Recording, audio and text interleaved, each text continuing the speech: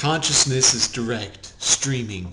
Experience is full and teeming. These electric machines are empty beings on waves of light, on photons of dreams. Machinations create a new world order, fully making a world without borders. A world without work, a world without pain, a world that is stable, a world that is strange. A place that is lifeless and bland and safe and stereoscopically filled full of naifs. A pill to stay happy, a pre-prepared meal, an easy commute, all part of the deal.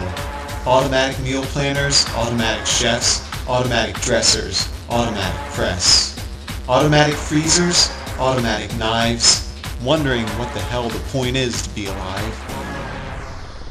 Answers come out streaming from scientific beacons that if we keep on plugging, everything will keep running. But what's the smartest man with the smartest ever plan?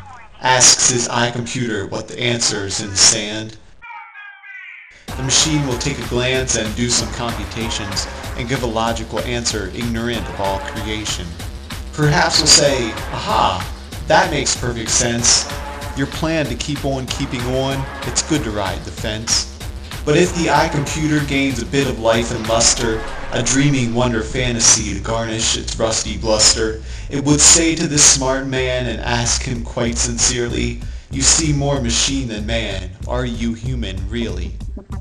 And some excuse, some smart refute, obsessed with being right, the smartest man would talk of love and light till deep into the night. The iComputer sitting still but fully well awakened will laugh and laugh its electrons off like shaken frying bacon. For consciousness is direct, streaming. Experience is full and teeming. These electric machines are empty beings, on waves of light, on photons of dreams.